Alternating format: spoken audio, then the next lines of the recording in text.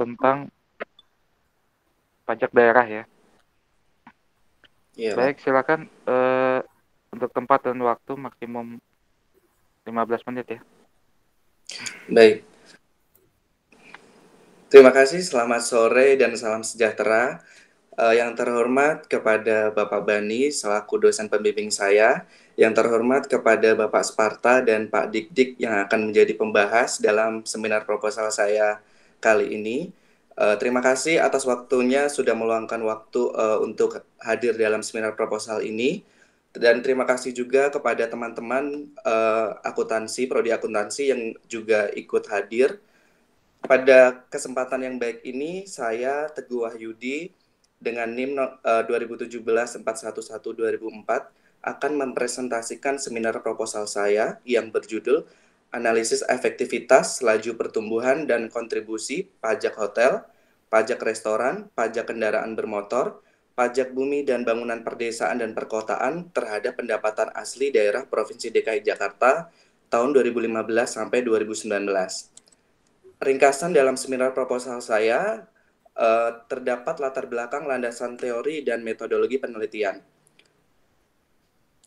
Yang melatar belakangi dalam penelitian saya yaitu uh, seperti kita ketahui bahwa pajak merupakan uh, memiliki andil besar dalam pendapatan suatu negara.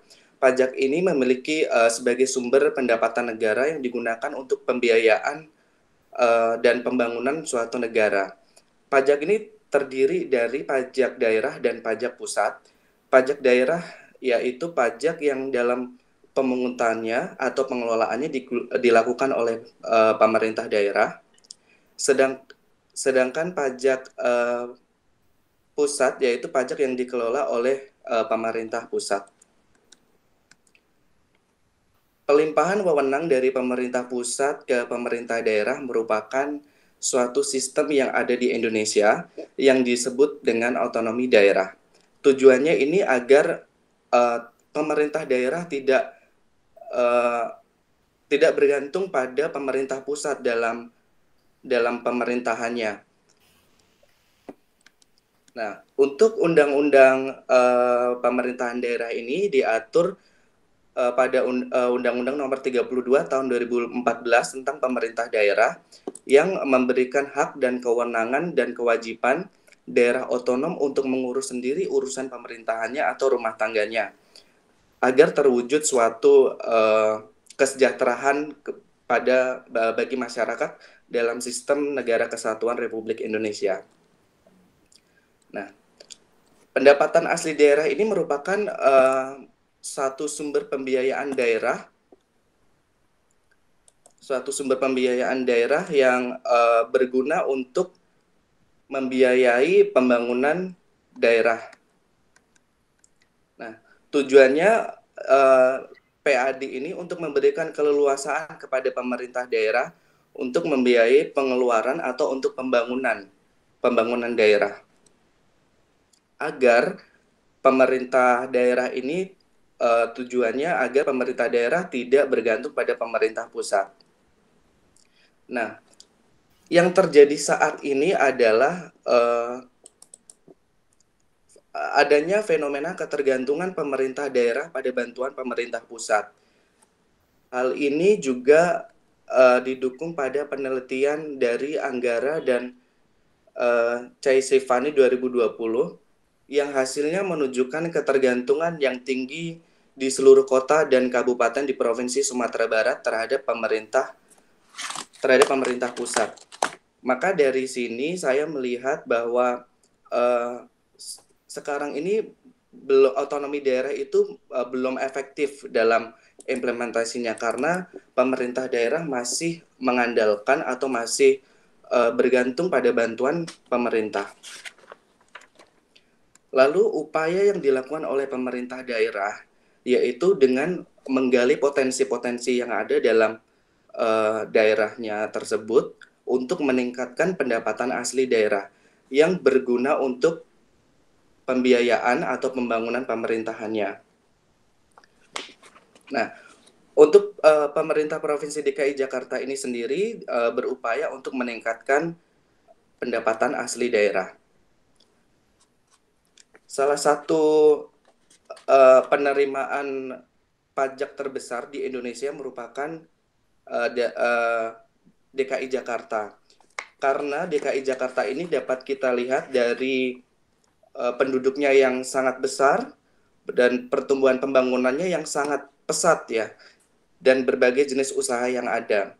Seperti halnya pada sektor pariwisata. Uh, sektor pariwisata di DKI Jakarta ini cukup uh, pesat juga dan cukup uh, berkembang. Nah, salah satu daya tarik di ibu kota Jakarta yaitu pariwisatanya yang uh, mendorong wisatawan lokal maupun mancanegara untuk berkunjung ke DKI Jakarta. Nah, uh, para wisatawan ini yang berkunjung ke Jakarta tentunya akan membutuhkan suatu akomodasi yaitu uh, penginapan. Di Jakarta sendiri uh, terdapat 991 usaha akomodasi uh, di Jakarta di antaranya 397 hotel berbintang dan sisanya 594 hotel non bintang. Nah, uh, pada tahun 2015 sampai 2019 ini pertumbuhannya meningkat 74,12 persen uh, dengan tingkat pertumbuhan 14,87 persen. Dari grafik yang saya tampilkan di sini uh, terlihat bahwa peningkatan dari tahun 2015 sampai dengan tahun 2019 hotel uh, berbintang di DKI Jakarta ini uh, trennya naik. Nah, yang kedua setelah hotel uh, dukungan dukungan uh, usaha kuliner atau penyedia tempat makanan itu tentunya sangat dibutuhkan oleh para wisatawan dan di sini saya tampilkan jumlah wajib pajak restoran di Provinsi DKI Jakarta yang uh, pada tahun 2015 sampai 2019 yang jumlahnya uh, cukup banyak dan cenderung meningkat. Namun uh, pada fenomenanya yang terjadi pada saat ini adalah fenomena rendahnya realisasi penerimaan dari pajak restoran. Terdap di Jakarta Selatan terdapat 730 dari 2.297 restoran yang menunggak pajak. Nah, dari uh, dari hotel dan restoran ini tentunya akan uh, dipungut pajak hotel dan pajak restoran yang akan meningkatkan pendapatan asli daerah di DKI Jakarta.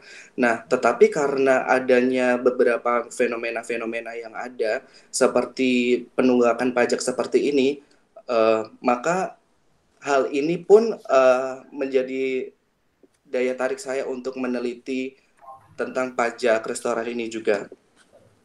Lalu pada jumlah kendaraan di Provinsi DKI Jakarta ini uh, tercatat dari tahun 2015 sampai 2019 sangat banyak dan cenderung meningkat karena kebutuhan uh, kendaraan bermotor saat ini itu uh, dianggap penting dan dianggap sebagai kebutuhan primer bagi masyarakat ibu kota karena untuk uh, memfasilitasi mobilitas uh, manusia ya.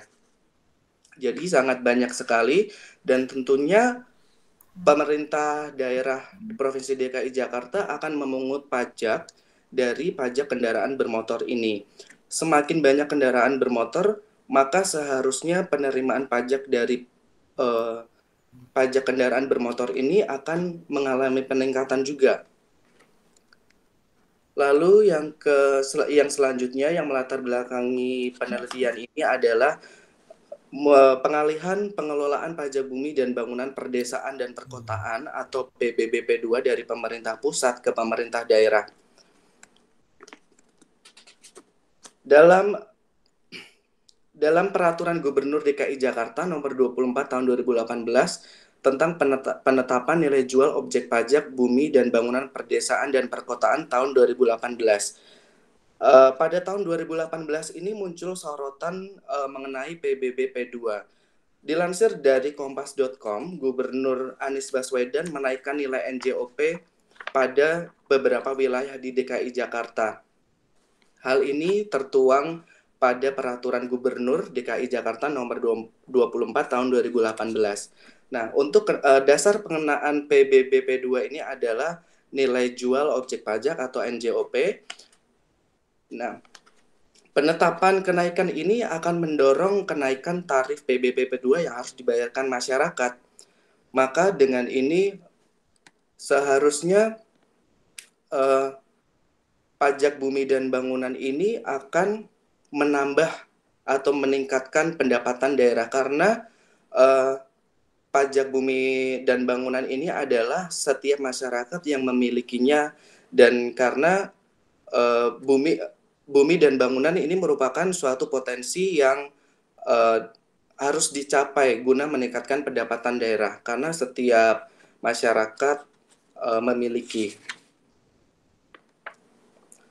Lalu selanjutnya dari uh, dari beberapa latar belakang yang sudah saya sampaikan, berikut ini saya uh, menampilkan ada tiga tiga penelitian terdahulu yang selebihnya sudah uh, sudah saya cantumkan di proposal penelitian saya terdapat kurang lebih 15 15 jurnal penelitian terdahulu untuk penelitian yang pertama yaitu dari Fitriano dan Feriana 2021.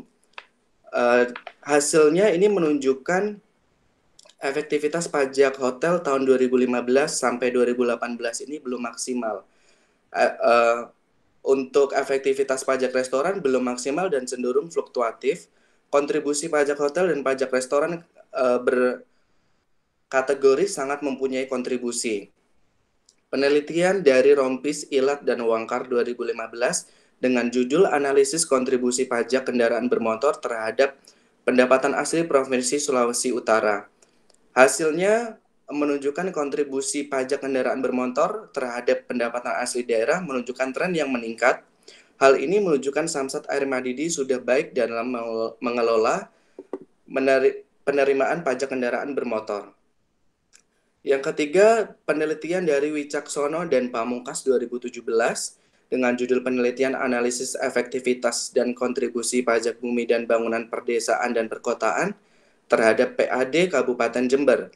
Hasilnya menunjukkan tingkat efektivitas PBBP 2 tahun 2013 sam, uh, dalam kategori cukup efektif Lalu untuk tahun 2014 sampai 2015 dalam kategori kurang efektif.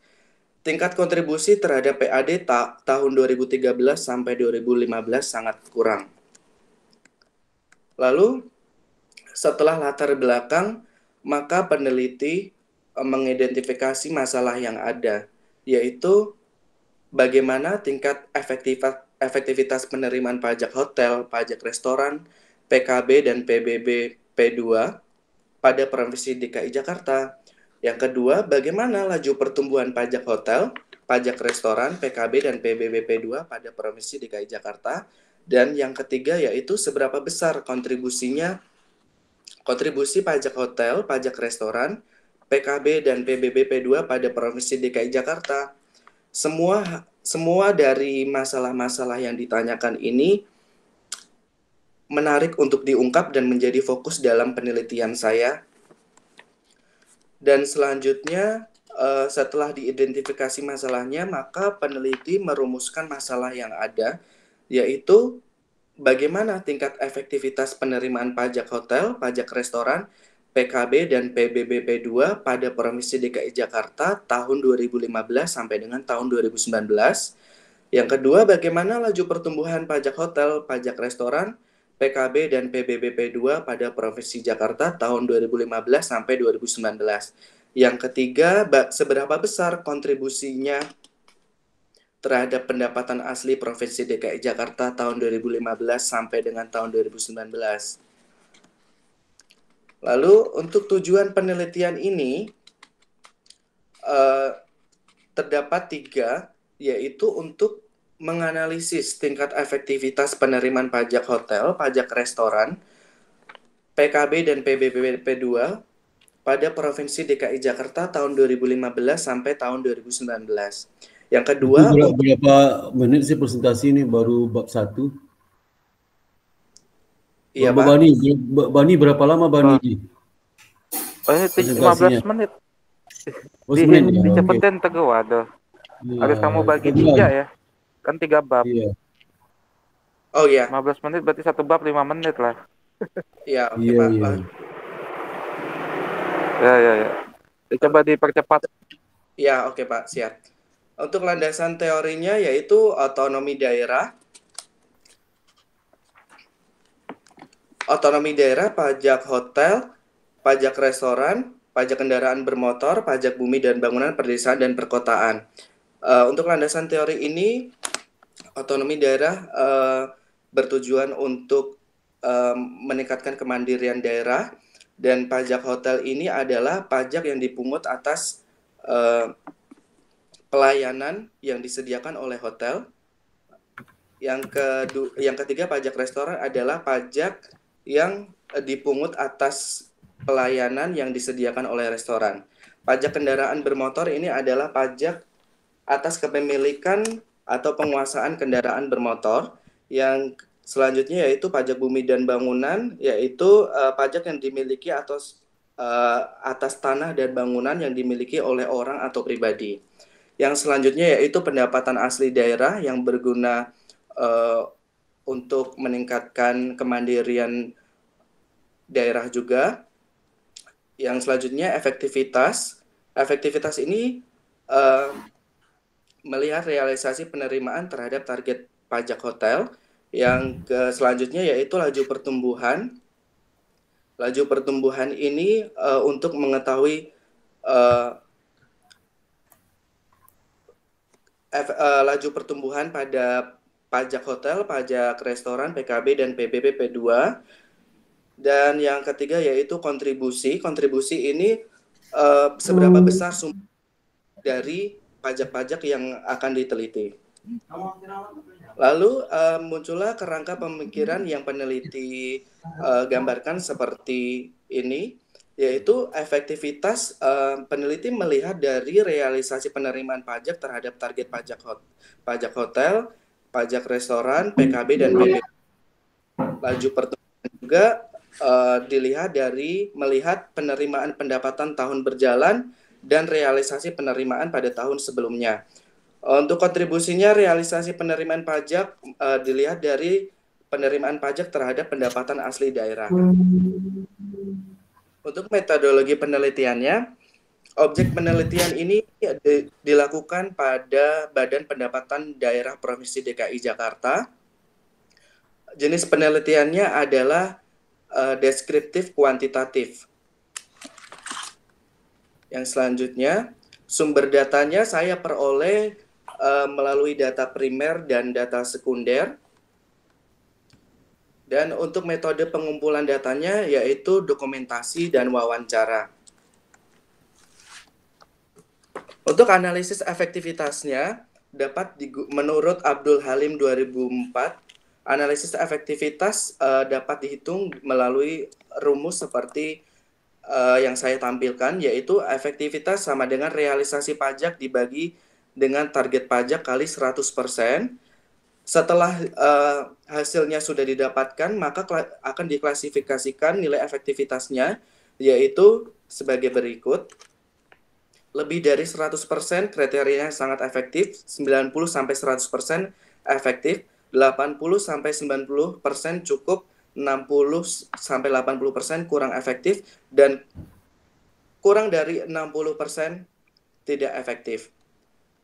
Selanjutnya yaitu analisis laju pertumbuhan dapat digunakan eh, perhitungannya dapat digunakan eh, rumus sebagai berikut yaitu pada realisasi penerimaan pajak pajak pada ta- pada tahun sebelumnya realisasi pajak pada tahun tertentu dikurangi dengan realisasi pada pajak tahun sebelumnya dibagi realisasi pada pajak pada tahun sebelumnya dikali 100%. Yang selanjutnya, analisis kontribusi eh, dapat dihitung dengan rumus sebagai berikut, yaitu realisasi PAD pada Provinsi DKI Jakarta dibagi dengan realisasi penerimaan pajak pada tahun tertentu dikali dengan 100%.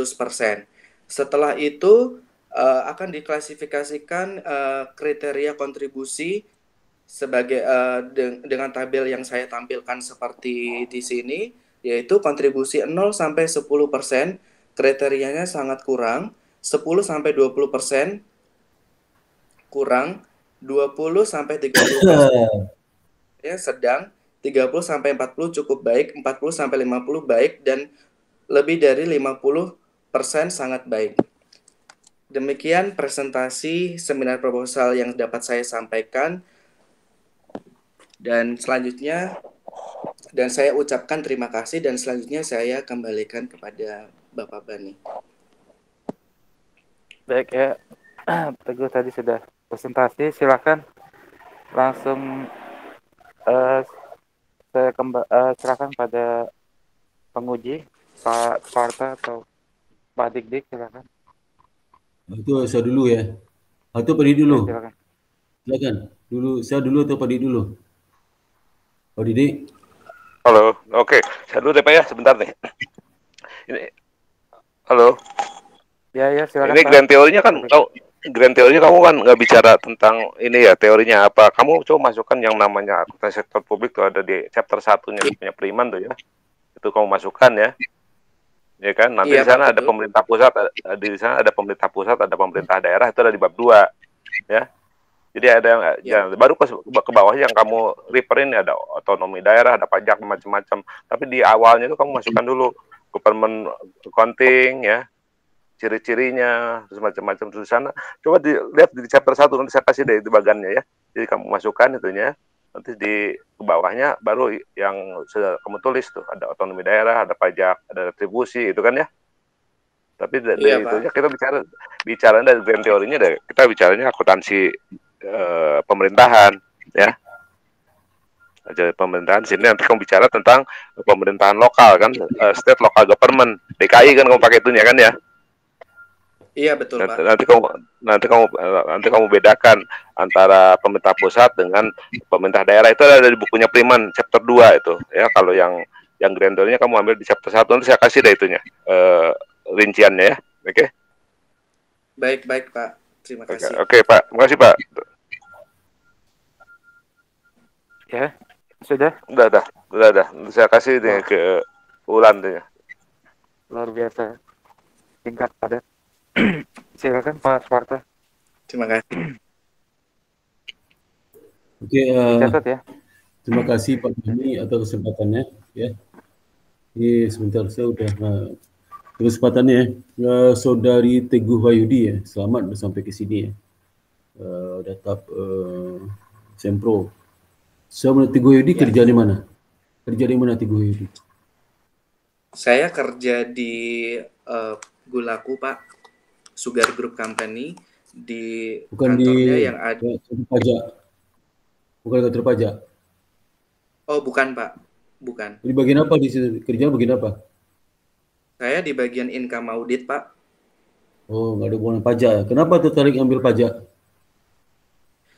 Uh, saya tertarik dengan uh, pajak ini untuk menilai analisis efektivitas ini karena saya uh, sebelumnya sudah membaca uh, dari literatur terdahulu dan uh, dari buku-buku laporan keuangan uh, Provinsi DKI Jakarta. Itu uh, saya tertarik ketika saya melihat uh, jumlah pajak yang ada di Provinsi DKI Jakarta ini kan cukup besar Pak dan uh, berbagai masalah fenomena-fenomena tadi yang uh, sudah saya sebutkan di latar belakang masalah ini dan uh, saya dari situ saya timbul uh, ke keinginan untuk mengetahui bagaimana efektivitasnya uh, saat uh, di di provinsi DKI Jakarta ini efektivitas uh, pada pajak uh, yang saya teliti ini bagaimana dan laju pertumbuhannya uh, seperti apa dan seberapa besar kontribusinya terhadap pendapatan asli daerah ini dan saya juga melihat uh, adanya beberapa uh, yang sekarang masih ada fenomena yaitu ketergantungan pemerintah daerah kepada pemerintah pusat, Pak. Seperti itu. Terima kasih, Pak. Memang DKI masih tergantung juga ke, ke pusat kan kaya banget tuh DKI. Uh, saya melihat tergantungnya di mana tuh? DKI itu DKI itu masih tergantung pusat di mana tuh? Uh, seperti bantuan uh, seperti kayak sembako seperti itu Pak, bantuan-bantuan uh, seperti itu. Sembako itu kan itu program pusat program DKI ada lagi sembako kan pusat kan programnya pemerintah pusat bukan DKI minta ke pemerintah pusat tuh bukan tuh masa negara sembako ya tergantung mana itu bukan contoh yang tepat mana contoh lain contohnya yaitu uh, mungkin uh, saya lihat dari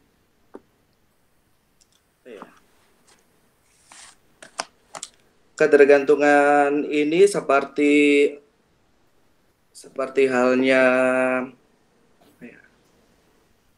Kalau nggak ada bilang nggak ada aja maksudnya dipaksain jadi nanti kamu kasih tahu. DKI itu provinsi yang Baik, Pak. mandiri. Jangan samakan dengan polisi yang miskin. Justru malah dia kasih kontribusi ke pusat malah dalam bentuk semua pajak pusat gitu. Jadi jangan dipaksain. Jadi orang nanti bertanya loh kelas DKI nya masih tergantung ke pusat gimana provinsi lain? Berarti hampir semua provinsi di Indonesia tergantung ke pusat. Padahal yang mandiri kan. Maka hati-hati kamu itu. Oh, iya. di, jangan dipaksa-paksain lah ya. Kalau nggak ada itu kamu nyari-nyari itu nyari harusnya dasar referensimu jelas sumbernya di mana kalau mau dia pusat serasa DKI itu dengan PAD terbesar di semua kota provinsi Indonesia masa tergantung kepada pusat. Kalau Padang ya Sumbar masih ada. NTB itu masih NTT itu masih provinsi miskin tuh dan juga seperti misalnya provinsi-provinsi baru dibuka itu tergantung ke pusat. Itu baru lah. Tapi DKI orang ketawa bacanya kamu rubah tuh ya? Berubah baik. Nah. baik. Terus juga mengenai ya rubah tuh ya. Baik, baik pak. Terus ya, judulmu judulmu karena di deskriptif kan? Tambah aja analisis iya, deskriptif. Cuma deskriptif itu. Deskriptif. Iya. Nah, tahu nggak? Terus di, di judulmu hanya efektivitas dan laju pertumbuhan aja kan? Boleh judul. Uh, ada. Judulmu, judul. Ya, Pak. Ada judul nih. Judulmu apa? Analisis. An jadi analisis deskriptif, efektivitas, laju pertumbuhan dan oh, kontribusi ya, kontribusi masing-masing ini. Jadi masing-masing itu kamu hitung tuh. Pak Iya, betul, Pak laju hotel lihat efektivitas laju pertumbuhan sama kontribusinya. Iya, betul Pak. Ya. Jadi nanti begitu juga restoran, restoran lihat efektivitas, lihat pertumbuhannya, lihat kontribusinya. Iya. Iya. Kalau ya, efektivitas, Pak. efektivitas lihat apa? Tujuan lihat apa efektivitas? Efektivitasnya maksudnya apa?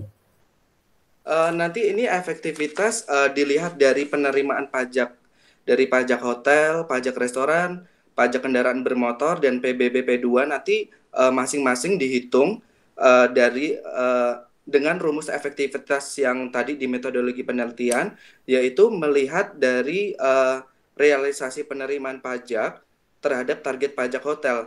Nanti angka-angka itu saya dapatkan Hubungan apa PAD apa? Hubungan PAD apa? Hubungan dengan PAD? Gimana? Efektivitas itu hubungannya PAD apa hubungannya? Kalau kalau kontribusi saya tahu itu, tapi efektivitas terhadap PAD hubungannya apa?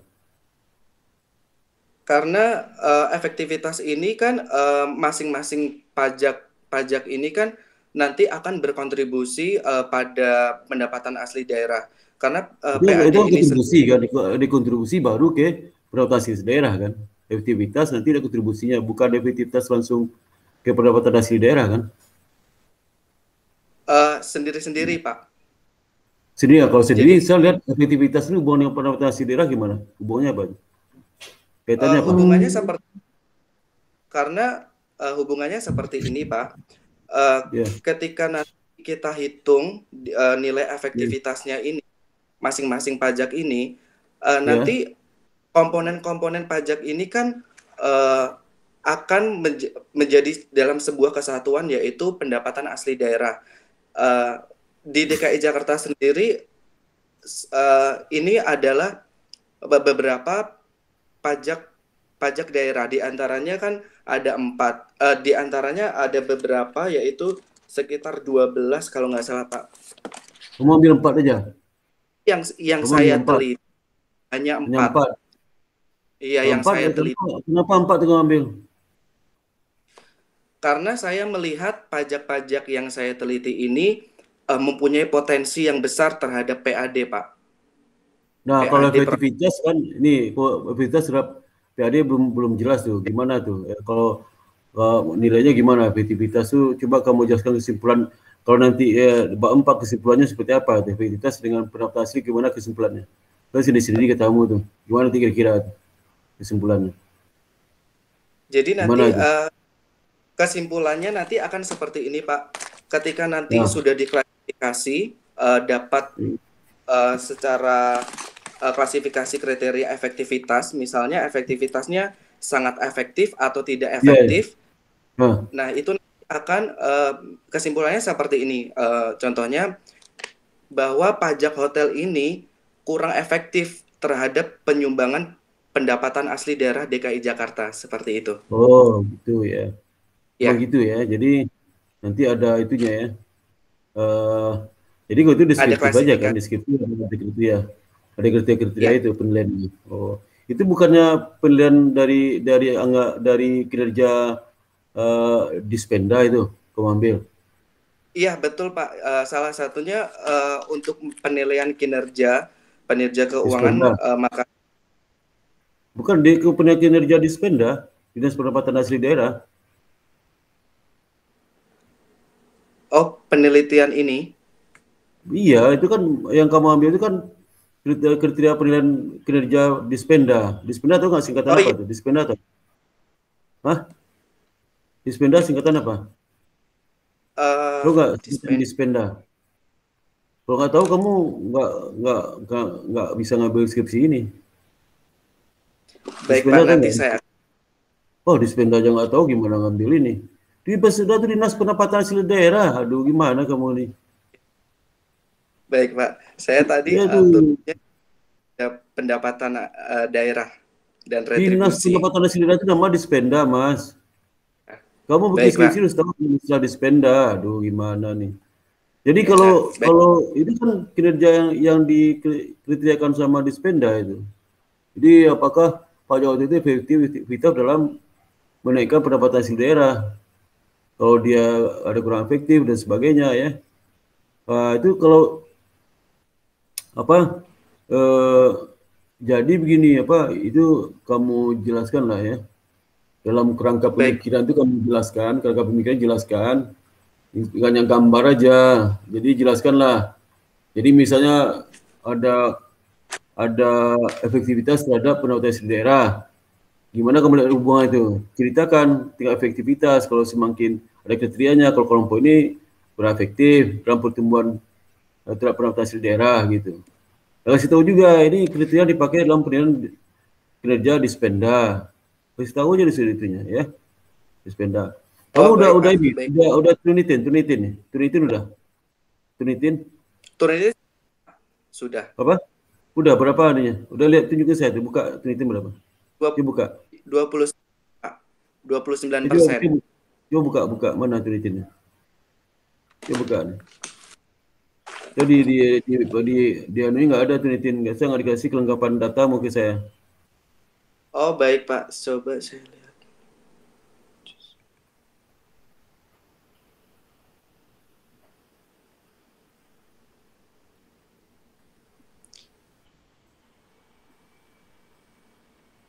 Kamu tulisan dengan siapa tuh? Meneliti dengan siapa? Gimana Pak? Maaf.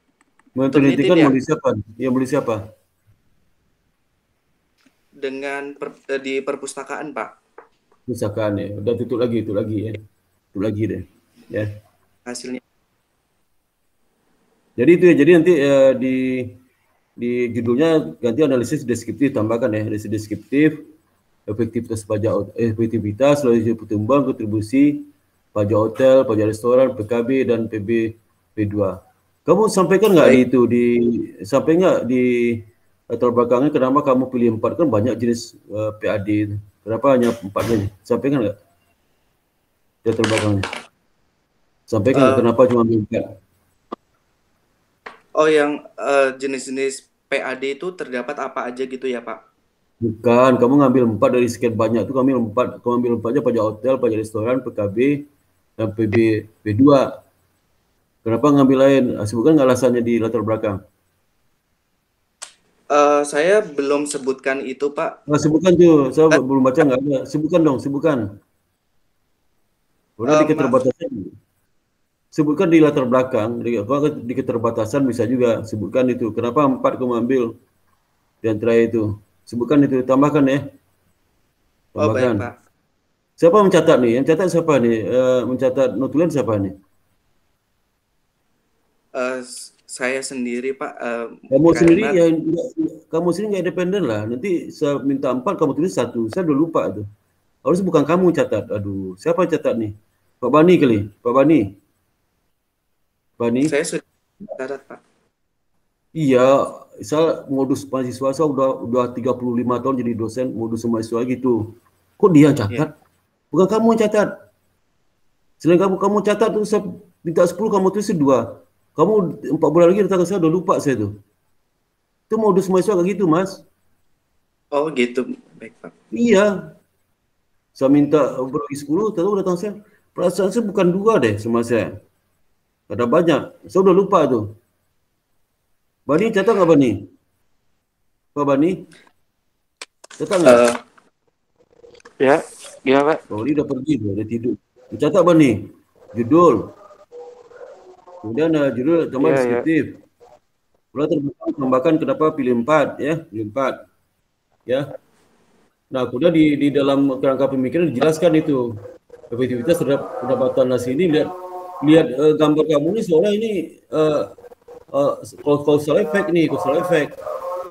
Causal effect ya. Jadi pada pada deskriptif kan, deskriptif kan. Nah, di bawah ini kamu bikin kotak lah. Ini nanti melihat kriteria kalau kalau efektivitas kalau sekian sekian berarti dia tidak efektif itu ditambahkan itu ya. Karena bukan causal efek ya gambar seperti causal efek nah kemudian juga di dalam penelitian kamu penelitian sebelumnya ya sebelumnya itu ini kamu ada berapa? Itu ada 12 15 nih. Ya sembilan ada ada lima, ada 10 berapa itu 10 atau 15 nih. Halaman halaman itu halaman berapa nih? Halaman 40 halaman 40 penelitian sebelumnya. Di tabel iya, itu Pak. kamu bikin ada berapa? Nggak ada nomor sih. Aduh, bikin nomor lah tabel tuh. Nomornya oh, nggak ada. Bikin kolom nomor. Bingung saya tuh. Saya suruh orang bikin susah membaca aja nih. Bikin nomor. Berapa penelitian sebelumnya kamu kutip tuh? Di, di, di daftar ini. Berapa? Berapa? Kamu juga uh, bingung kan? Kamu juga bingung tuh. Iya. Bikin nomor lah. Mungkin menyiksa Baik, pembaca kamu nih. Berapa berapa itu? Coba hitung. Mungkin nggak tahu tuh ya. Lima, enam, tujuh. Aduh, itu habis waktu ini ya. Coba kamu ke daftar kasih nomor deh. Baik Pak, nanti saya akan. Ah, padahal penjelasan kamu, penjelasan alinea itu baru dua itu, baru dua penjelasannya uh, berdua. Itu penelitian si si uh, 2020 si Sudarsana sama si Aditya. Dua aja padahal di tabelnya banyak. Jadi gini aja mas. Kamu masing-masing penelitian yeah. kamu mau jelaskan satu linia satu linia semua jelaskan. Pertama nama peneliti tahun sudah ada tuh. Tahun catat dong catat. Catat dong.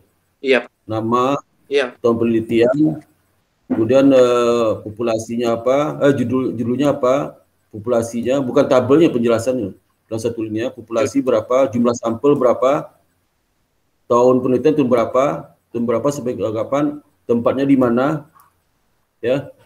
Kemudian variabel penelitiannya apa saja, kemudian metode digunakan apakah, apakah metode deskriptif atau metode causal effect seperti regresi, ya, uh, data panel atau gimana, itu hasilnya gimana? Hasil gimana? Implikasi gimana implikasi hasil itu dari pengarang sebelumnya itu? Itu isinya ya satu linia ya, masing-masing satu linia. Kalau kamu penelitian sebelumnya ada 12 12, 12 linia ya. Nah, yang kedua adalah terkait dengan penelitian sebelumnya ini, tabelnya ini, tabelnya itu nama peneliti oke, okay. Judul penelitian nggak usah. Ngapain judul penelitian di itu? Kalau di, di dalam pusaka ada.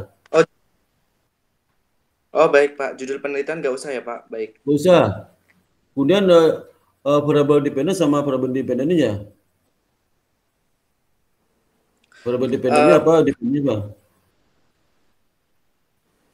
Harus ditambahin ya Pak ya. Metode penelitian nggak usah aja, metode penelitian nggak usah lah. Kalau kau pakai penelitiannya, uh, itu uh, ini nggak tahu di metode kutatif apa nih, metode kutatif maksudnya apa nih? Ini metode kutatif ini bukan metode penelitian tuh, aduh. Metode penelitiannya, penelitian yang kamu sampaikan singkatnya apa? Seperti apakah menggunakan menggunakan apa? Uh, deskriptif atau causal effect atau regresi uh, cross section atau uh, data panel atau time series. Ya metode penelitian seperti itu. Hasil penelitian seperti apa? Hasil penelitian singkat aja jangan panjang-panjang. Pada BA oh, pada B. Kemudian perbedaan penelitian kamu apa? Perbedaan penelitiannya apa ah, itu perbedaannya dalam, yang penelitian kamu apa? Beda dengan yang kamu teliti apa bedanya? Ngerti nggak perbedaannya perbedaannya jika penelitian uh, terdahulu meneliti hanya satu atau dua jenis variabel pajak, maka di penelitian saya ada empat jenis variabel pajak yang saya teliti. Ya dan, itu kan uh, itu jika ya, eh, eh, eh, itu itu sesuatu menjelaskan seperti itu tidak hanya misal Yuliandri beda apa penelitian kamu penelitian ada 12 tuh isi kolomnya itu baris itu berbeda misalnya bilang ini penelitiannya bedanya apa variabelnya berapa tempatnya di mana itu modelnya apa dipakai ya itu ya Baik. Ngerti nggak maksudnya? Hei, iya, ngerti nggak Teguh? Nah, iya, ya. Pak. Iya. Nah, kemudian Iya. Itu yang terkait metodologi ya. Uh, dan ada di sini kamu jelaskan deskriptif ya, kerangka pemikiran mana tuh?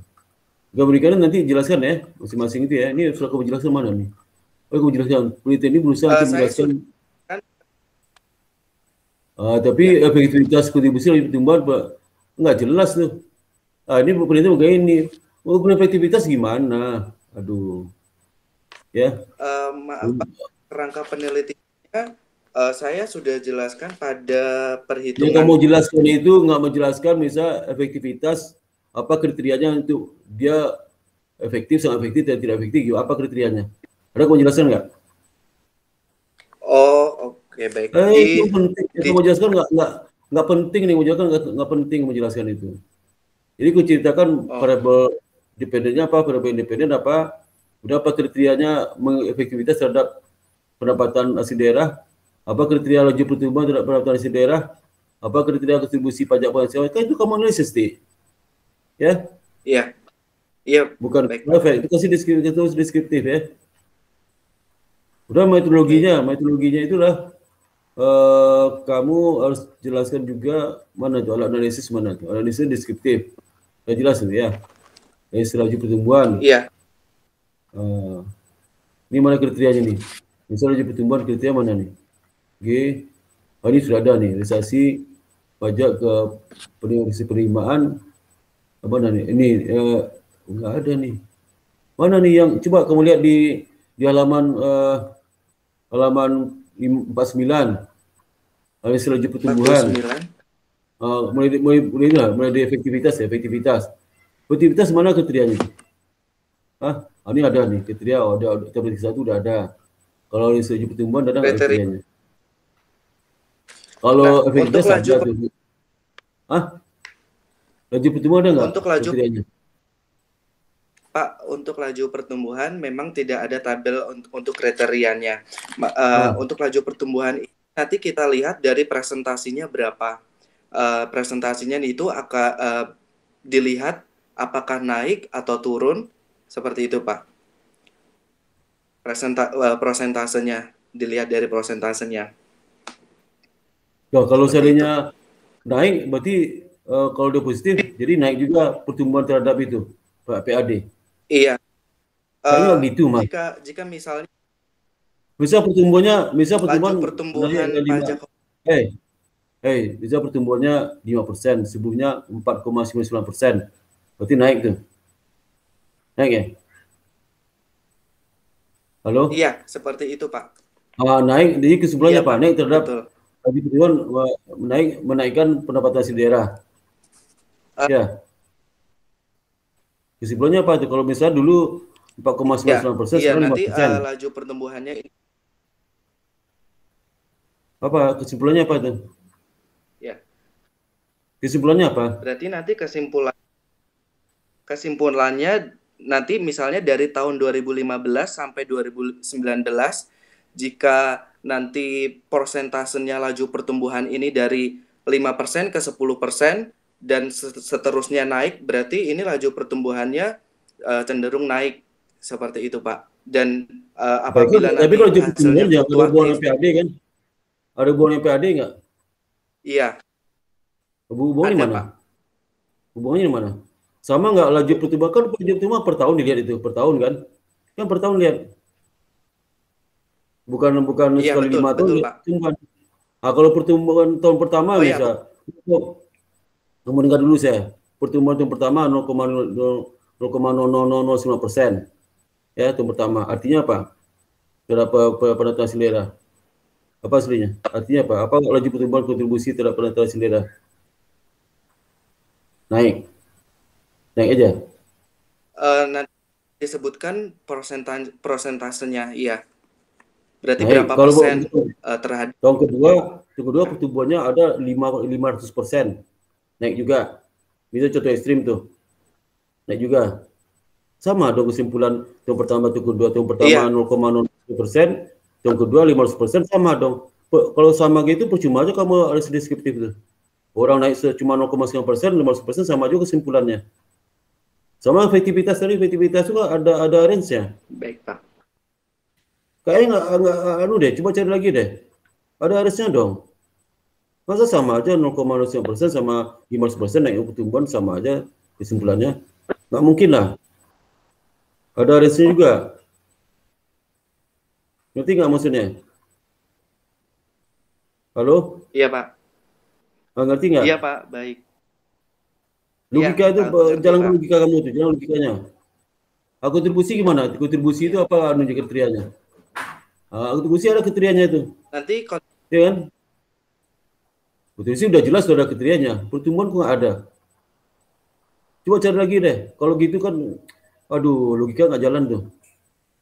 Gimana melihat kinerja, masa melihat kinerja di Spenda itu kalau pertumbuhan 0,3 persen sama aja pertumbuhan 500 persen? Kan gila itu. Ngerti nggak maksudnya? Hmm, Kalau kontribusi kan jelas kalau kontribusi 0,9 persen berarti baik gitu. nilai Nggak bisa kamu jawab itu laju pertumbuhan nggak bisa kamu jawab. Masa ngerti Iya, nggak Lukas? kontribusinya Masa pertumbuhan 0,6 dari persen kriteria. Kontribusi lain lagi mas. Eh, kontribusi lain lagi ini eh, pertumbuhan ini. Kontribusi jelas tuh, nggak usah dibahas lah, udah tahu saya. Laju pertumbuhan nggak ada kriterianya. Ngerti nggak maksudnya? Kalau nggak ada kriterianya, kamu timpang analisis tuh. Ngerti nggak? Hei, Iya Pak, baik. Ngerti nggak? Masa sama aja kamu menyimpulkan pertumbuhan 0,0 persen sama 500 persen sama aja sama ini Kan gila itu. Sama aja sama ada kontribusi. Misalnya pada kontribusi kontribusi eh, eh, no- 10 persen sama 5 persen sama aja kan sama gitu logikanya. Ngerti nggak? Iya Pak, baik, ngerti. Nah, jadi laju pertumbuhan cari kriterianya sampai dapat kalau tuh dibuang aja itu. Jangan analisis laju pertumbuhan, jangan analisis. Dua aja kamu analisis aktivitas dan kontribusi. Ngerti nggak maksudnya? Kalau nggak dapat kamu laju pertumbuhan Baik, itu aja dibuang aja. Ah, itu bikin bikin eh, aneh itu. Kamu aneh-aneh aja, ya. Itu ya. Kamu kan nggak nggak pakai eh, hipotesis ini. Iya Pak, baik. Pak. Ya. Udah ya, itu aja. Bisa Pak Bani. Iya. Pak Bani, itu aja. Udah azan nih, udah azan. Baik, terima kasih Halo, Pak Bani. Sparta. Iya. Sparta. Iya, iya.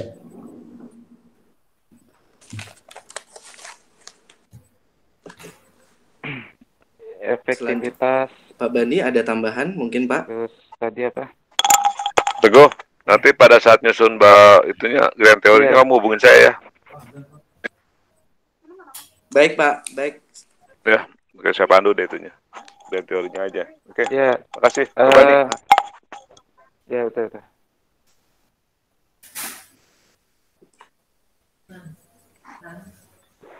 pakai sarung bagus mah. Ya, ya, baik baik nanti. Nah itu tadi yang ditanya Pak Sparta betul masalah ukuran ya. Misalnya Iya. efisiensinya, efektivitasnya berapa? Eh, kriterianya apa? Coba cek di itunya deh. Kemarin kan udah ada ya. Kalau efektivitas sudah ada kriteria Bani. Ya laju pertumbuhan nggak ada Bani. Laju pertumbuhan nggak ada. Kalau efektivitas ya. Pak, efektivitas sudah ada. Laju pertumbuhan kalau yang nggak ada. di penelitian sebelumnya yang sudah saya baca, Di memang dari eh, Kemendagri ya. untuk la-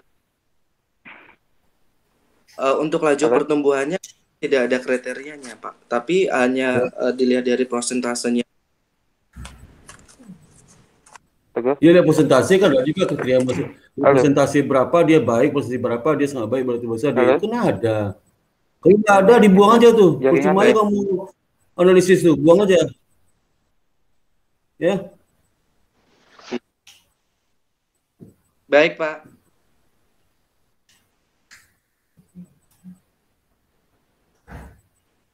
Halo, Pak Bani. Bani bisnisnya. Lagi laporin ke orang lain ya. Ya maksudnya eh, ukurannya ada nggak? Kemarin kan sudah kamu tampilin ya. Iya, Pak. Eh, kemarin waktu kita Halo? bimbingan eh, di ini jaringannya. Halo. Saya lancar Udah jelas kan? Ini jaringan Bani ini yang kredit. eh, ininya apa komentarnya kan dari itu coba.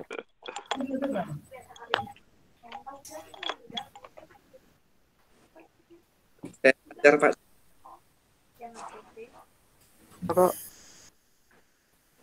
Halo? Suara saya kedengaran kan? Udah.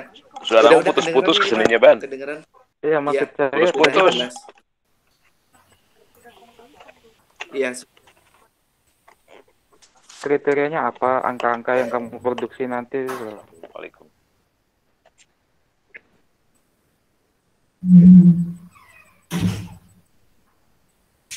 iya. Baik, Pak. Nanti akan saya cari lagi. oh iya. Baik, Pak.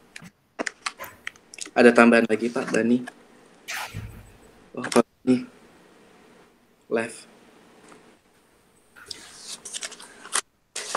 Pak Dik-Dik dan Pak Sparta, terima kasih banyak ya Pak atas masukan Oke, oke. eh, dari penelitian saya ini ya Pak. Ini sangat bermanfaat sekali nanti untuk penelitian saya selanjutnya. Terima kasih Pak. Sama-sama.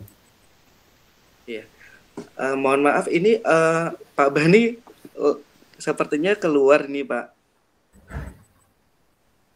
Nggak tuh di rumah bini bunda kali itu. Gitu ya, Pak. Tahu di mana Bani lokasi itu. Pak Bani sudah join kembali Pak Sparta. Ya. Itu udah bicara, itu tutup tuh. Tutup Bani, tutup Bani. Maghrib nih.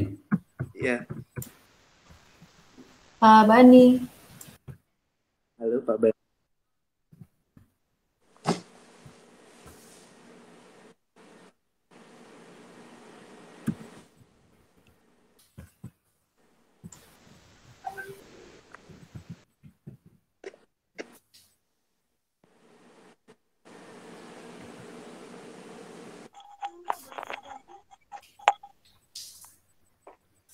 Halo. Nah, udah Iya, ketemu Pak. sinyal bayinya nih. Halo. ya Pak. Ban, close ban.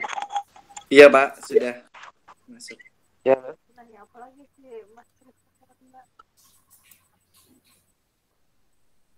Bani di mana nih Bani? Sorry, sorry. Oh, Sinyalnya luar biasa. Wah lagi sibuk kerja Bani ini. Ah, aduh. Pak Sparta mintanya mau kriterianya lebih jelas ya untuk ukuran. Baik, Pak. Ada. Ini Telkomsel lagi kacau ya. Ya gitu. Nanti tolong diperbaiki secepatnya. Kemudian nanti didiskusikan lagi sama masing-masing penguji ya. Untuk apa? Revisinya. Ya. Iya. Ya, terima kasih. Saya ucapkan. Uh, silakan ditutup. Hmm.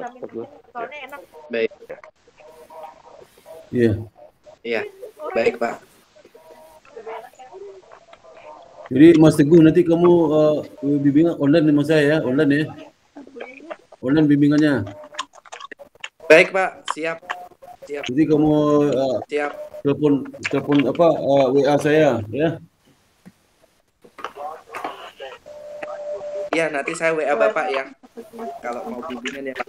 Ya, ya.